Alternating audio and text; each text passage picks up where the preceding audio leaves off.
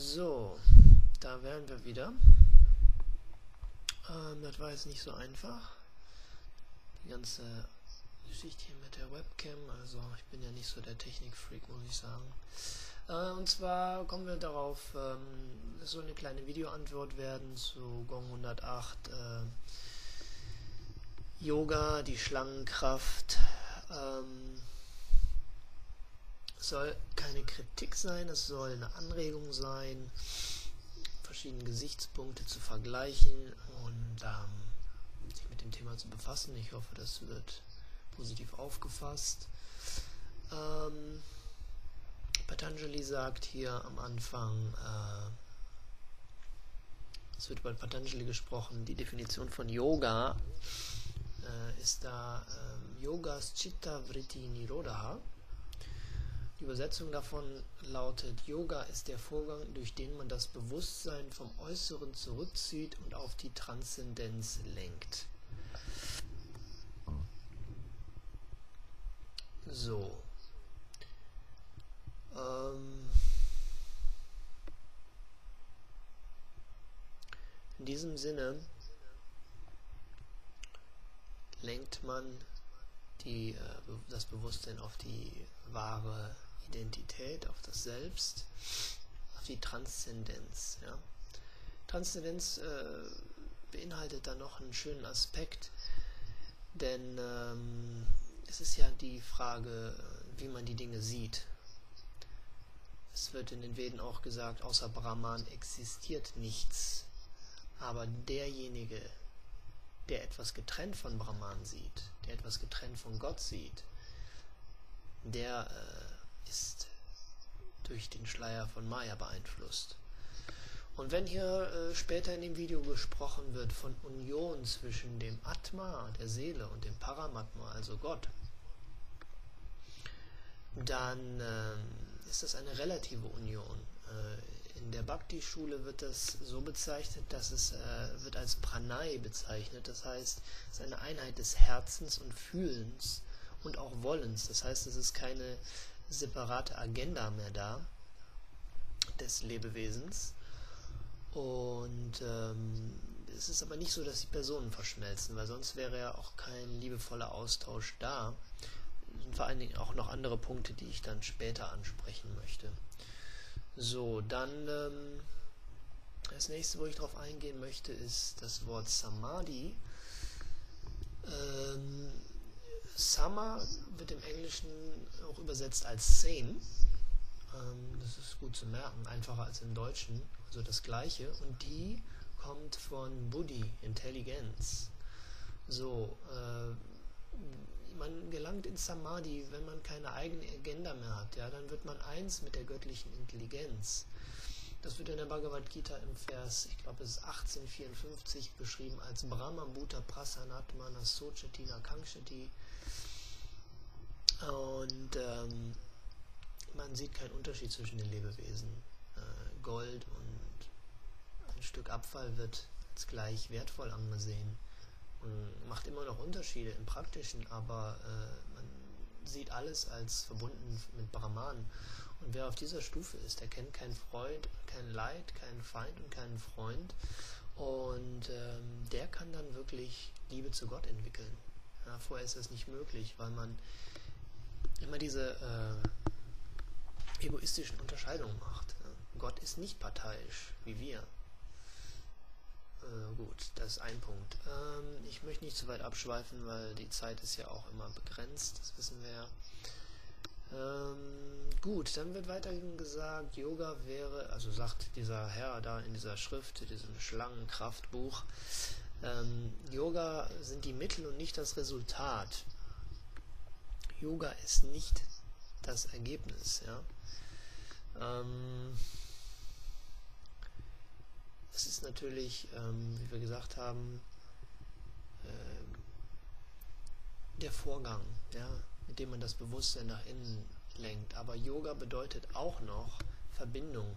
Das heißt, man ist dann in Yoga. Ja, und dieses Yoga führt man auch weiterhin aus, wenn man verbunden ist. Das ist nur ein Gedanke, den man da auch noch mit reinnehmen kann. So, ähm, Dann ging es darum, um die Verbindung mit dem Paramatma, also ähm, die scheint, scheint nicht da zu sein für das Lebewesen, aber ist immer da, nur äh, das bedingte Lebewesen nimmt das nicht wahr, weil sie sich von Paramatma abgewendet hat und von seinen Wünschen und seinem, seiner Gemeinschaft, ja, aus, Egoist, aus Egoismus heraus wollte sich selbst ins Zentrum stellen, aber Paramatma ist im Zentrum, ja, ist der, der, Ursprung von allem. Und ähm, während Paramatma äh, sich dessen immer gewahr ist und auch dieses Lebewesens, dieser Jiva, dieser Seele immer gewahr ist. Ähm, es wird da auch beschrieben in den Veden, das sind äh, wie zwei Vögel, die in einem Baum sitzen. Der eine beobachtet und der andere kostet die Resultate seines Karmas. Ne?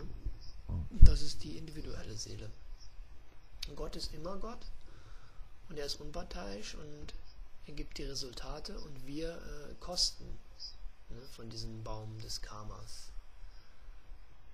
Sollte man vielleicht mal drüber nachgedacht haben. Dann weiter geht's mit Rupa. Rupa ist Form und zwar Rupa äh, wird als formlos beschrieben. Das kann teilweise so sein, muss aber nicht, ähm, sondern Svarup kann auch persönliche Form oder innere Identität bedeuten.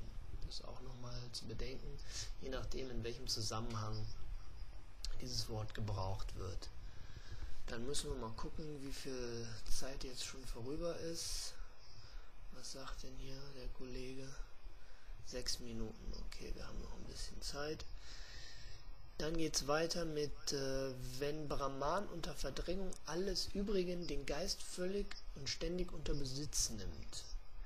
Ja, das ist etwas, äh, was vielleicht auch ein bisschen an der Übersetzung liegt. Ich weiß nicht, ob das im Original Englisch auch so ist. Ähm, Brahman wird beschrieben als das vollkommene Ganze. Ähm, da gibt es im Prinzip nichts zu verdrängen. Ja, das hört sich dann ein bisschen seltsam an vielleicht. Ähm, Maya, Illusion, ist etwas als getrennt von Brahman zu sehen.